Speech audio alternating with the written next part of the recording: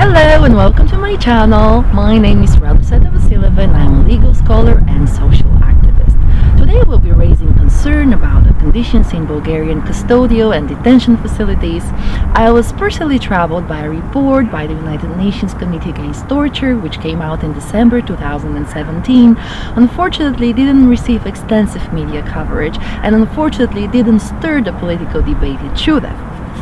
Um, I find this uh, unacceptable because if you actually read the report, you would wonder uh, why Bulgaria is a member state of the European Union at all. You would learn, for instance, that 70%, 70% of people who have been detained did not have access to a lawyer, and this is a major violation of the right to defense.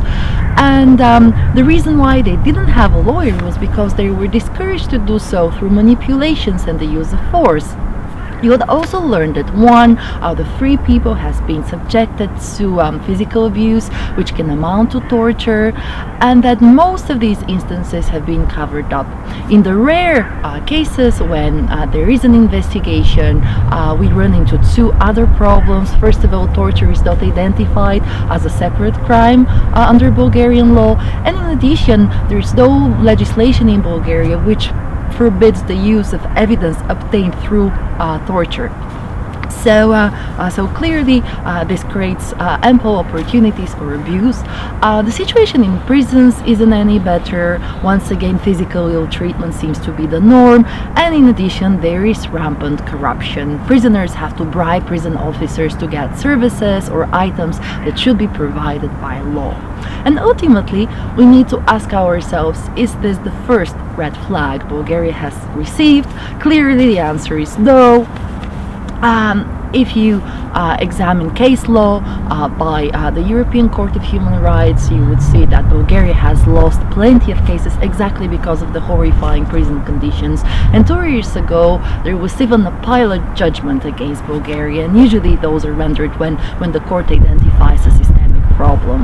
Now, NGOs have also raised concern that nothing has been done in the past 20 years in order to improve prison conditions.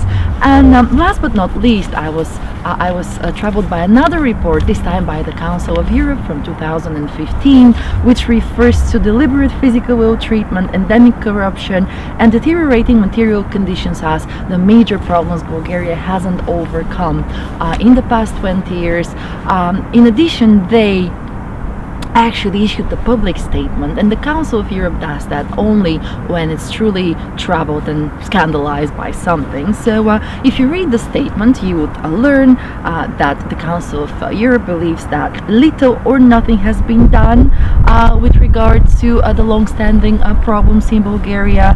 Um, in addition, the state of affairs highlights a persistent failure by the Bulgarian authorities to address the most fundamental shortcomings and moreover the Council of Europe called for radical change. Now clearly two years later we can see that uh, there's no radical change. Why does this matter? Um, I would use a quotation by Nelson Mandela here.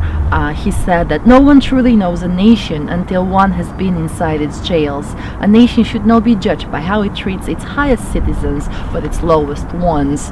Um, and um, of course, there is a stigma about prisoners, but think about it nobody should be above the law. And in addition, the only institution that could have any say on punishment is a legitimate court. Anything else is just arbitrary action, uh, which is unacceptable for democracy.